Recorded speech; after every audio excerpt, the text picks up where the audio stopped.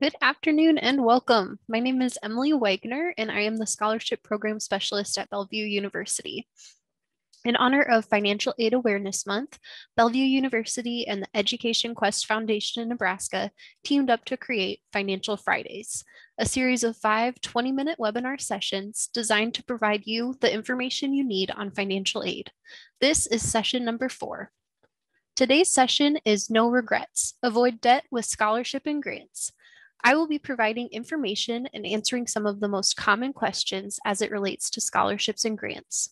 Throughout today's session, I encourage you to type your questions and comments into the Q&A box. The moderators will track your questions and I will address them live at the end.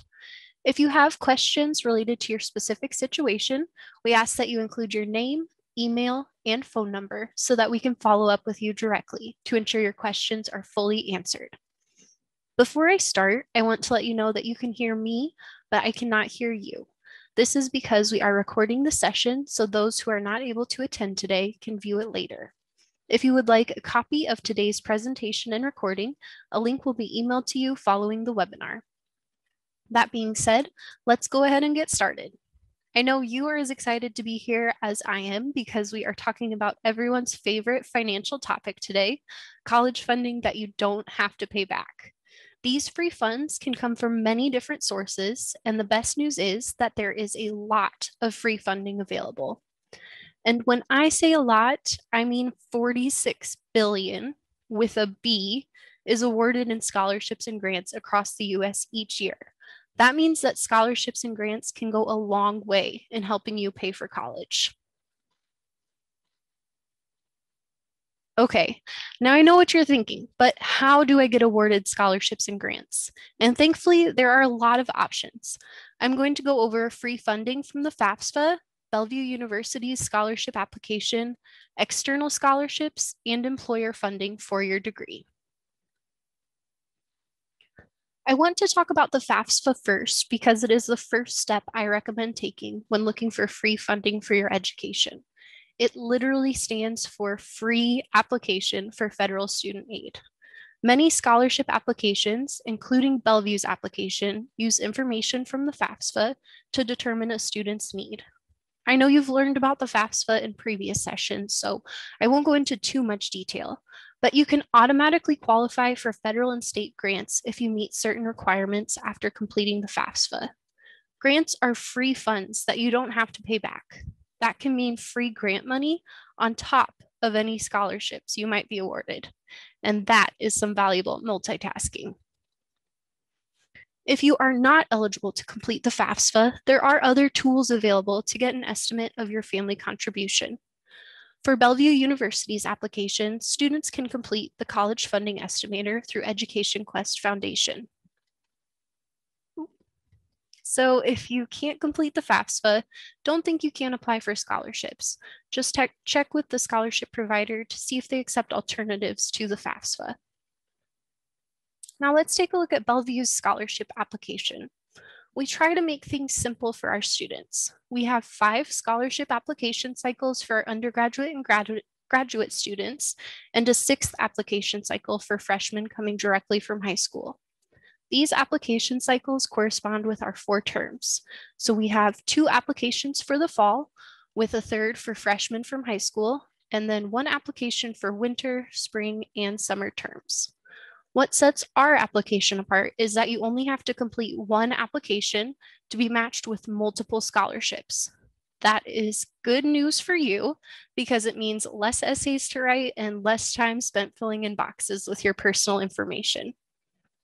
If you want to get an idea of what types of scholarships you may be eligible for, you can use the search by fund eligibility function on the front page of our site before logging in. Some things to note, most of our scholarships do have a minimum GPA requirement. For undergraduate students, this is typically set at 2.5, and for graduate students, it's usually 3.0.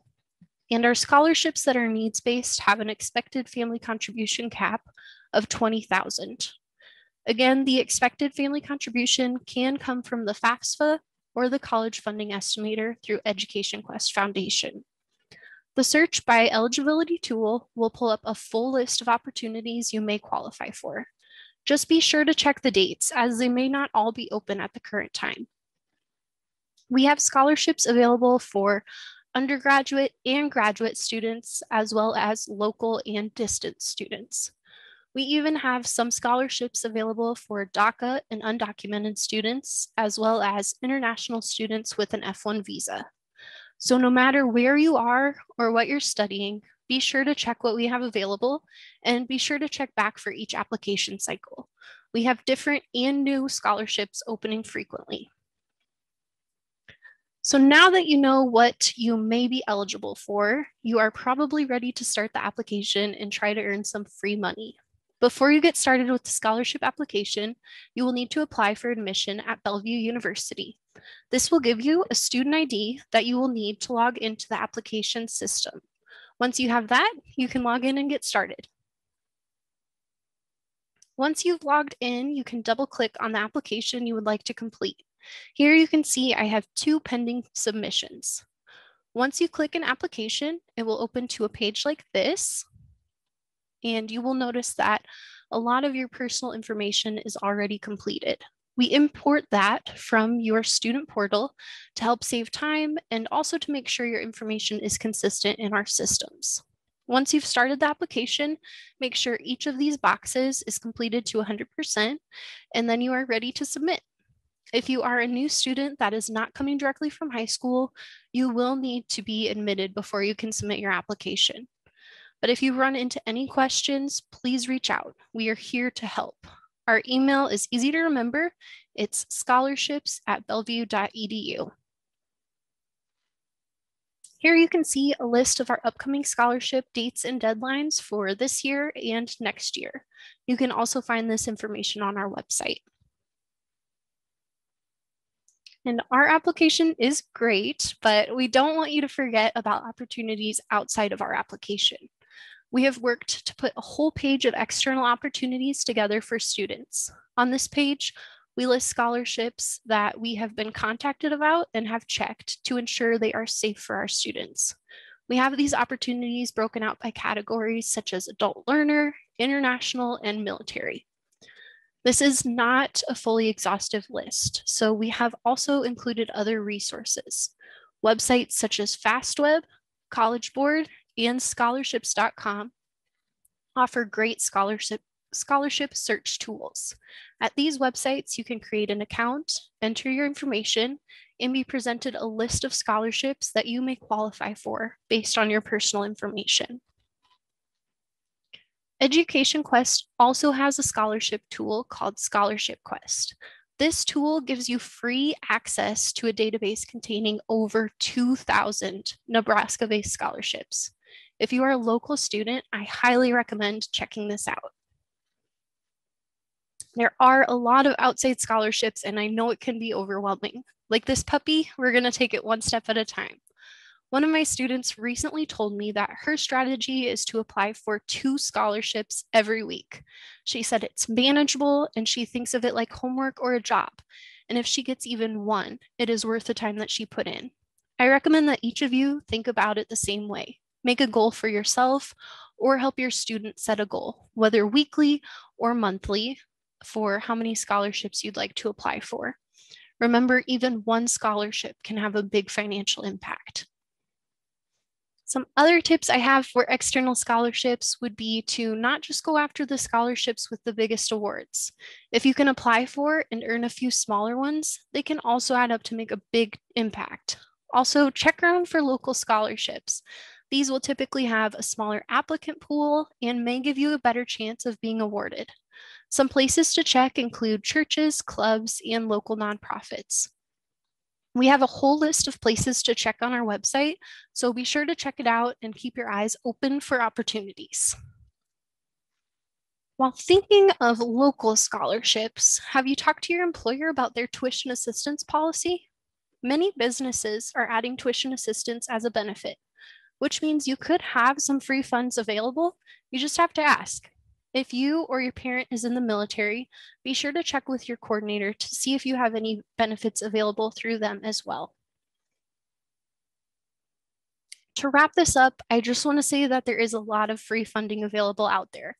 And while it's not as easy as just lining up for a bag of money, the effort you put in now will potentially save your future self from years of student loan payments.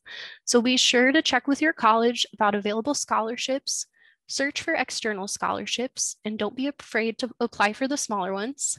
And also check with your employer to see if they can offer any assistance. We will now open up the session for any questions that may have come in. As a reminder, if you have a question or a comment regarding what was presented, please type them into the Q&A box and one of the moderators will read them aloud. Angie, do we have any questions? Um, we do have some questions, Emily. Okay. Let me pull them up. Okay. So the first one is, um, can I apply for scholarships through the FAFSA itself? or what money is available through that application besides loans? Okay, so the FAFSA is not dual um, as an actual scholarship application. Through the FAFSA, you'll be eligible for the federal grants, um, potentially state grants as well, um, as well as the subsidized and unsubsidized loans, just all depending on your um, income and different factors that go into the FAFSA. Okay, thank you. Another one is if I don't attend Bellevue University, can I still look at the external scholarships that are listed on your website, or are they specific to the students that attend Bellevue? Okay, yeah, so that list, um, it's not exclusive to our students at all. So if you aren't attending Bellevue, please feel free to use that. Um, we put that together to help students, even if they aren't coming to us, they're open for anyone.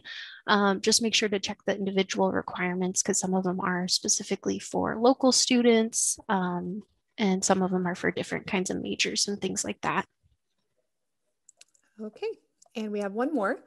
Okay. If uh, if I earn a scholarship from my parents' Elks Club, can I bring that to your university at Bellevue University or another college to help pay for my school?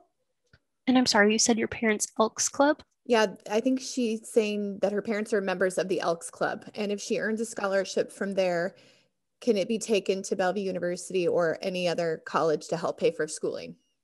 Yeah, um, what I would recommend for that student is to check with the Elks Club um, and just make sure that there aren't any restrictions. But as far as bringing in outside scholarships, you're definitely able to bring them into Bellevue. Um, we're happy to get those applied to your account per the provider's instructions for us. Okay, that's all that there was. Okay, awesome. Well, thank you all for attending the No Regrets Avoid Debt with scholarships and grants webinar. We hope you found it helpful and we look forward to seeing you at our next session. The next Financial Friday session is verification demystification and will take place next Friday, February 26th at noon Central Time. Thank you and have a great rest of the day.